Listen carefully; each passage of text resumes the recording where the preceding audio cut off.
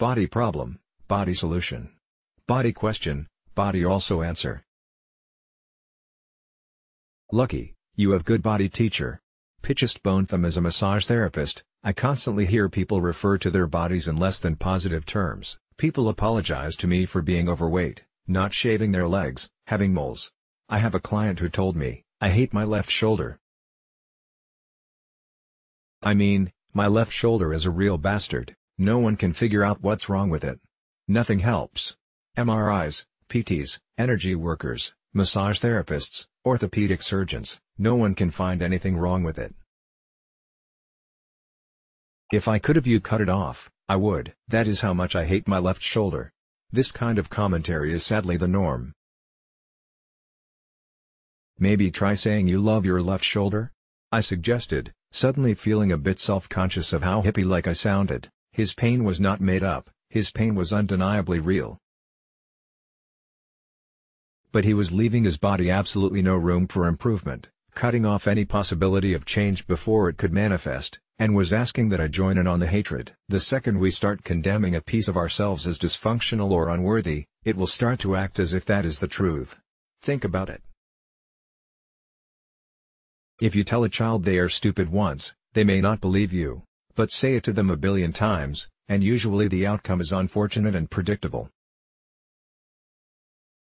A child will hold on to the verbal trauma inflicted by parents, teachers, and other kids. If this weren't true, we wouldn't have psychotherapy as a profession. Our bodies are no different from a child's mind. Brutally honest, reactionary, and always moving toward love, the body will curl inward protecting itself from the emotional onslaught of the world around it, and most especially from the world created within it. Your left shoulder can't decide to move to New York City, take shrooms, and flip you off for making it miserable. It gets painful and angry, and, in my non-scientific opinion, is more prone to injury due to the repetitive shutting down of any option other than pain. Healing an injury isn't just about the site of the trauma, but about how all of the pieces play together. This includes our emotional body. While pursuing recovery, there will be physical pain but also frustration, anger, and maybe even grief over an injury. But becoming friends with your body is profound and healing in the same way that reconciling with an estranged family member can be. It isn't perfect. It isn't pretty. But damn it, love is there, and getting to a place where you can express that is pretty amazing. Take me, for instance. I used to get really nervous trying on shoes. I felt like salespeople were too attentive and I had a serious hang-up about attention. So, I reacted to the perceived pressure I was creating by poking fun at myself. I talked about how horrible my left foot was when trying on shoes. I would say I had a gimpy left foot and needed some serious arch support. Oh, and bring two different widths because my Sasquatch of a left foot was unpredictable and I almost always needed a wider width just for that foot. Yes, it is true that my left foot is different from my right foot. But the way I condemned my foot set the stage for me to disconnect myself from that part of my body, inviting more injury. I went through orthotics and discussed surgical solutions with podiatrists, everything except accepting my left foot as it was and opening up to the possibility that it could change for the better. I'm not saying that orthotics and surgery are not needed sometimes. They are tools in the toolbox. But by thinking about my foot as permanently damaged, and believing that the only direction would be one of decline, I had already eliminated any other possible outcome. Once I decided to treat my left foot as though I loved it, everything changed. This doesn't happen overnight. Often, learning to love and accept parts of ourselves as a fake it till you make it scenario. I saw how clients coming in with injuries tended to heal faster and not repeatedly injure themselves when they stopped talking about their body as a joke or a betrayal. These folks also seemed more likely to do the prescribed exercises. I saw this and made a connection. I didn't just stop talking about how screwed up my left foot was, but I started telling it how much I appreciated its efforts. I investigated ways to support it and helped create integrity in that ankle, knee, and hip with exercises. I massaged my own foot, and I did some difficult work with it as well, like picking up things with my toes and opening up my feet by sitting back in broken toe pose. I even threw away my shoes for work and just wore socks.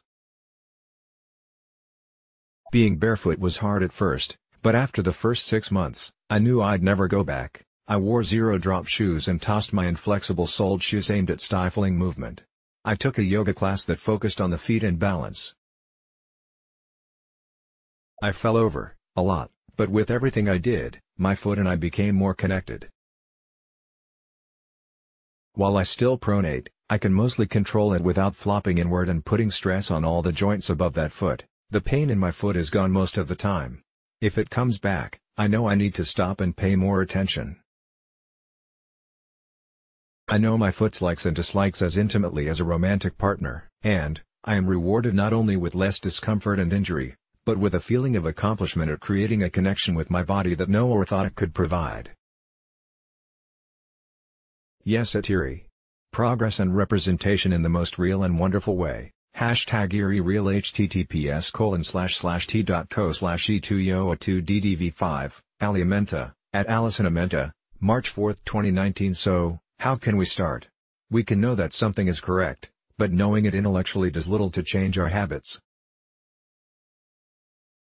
We know smoking is bad for us, but unless we experience the act of quitting we won't understand what it means to not smoke, same thing here.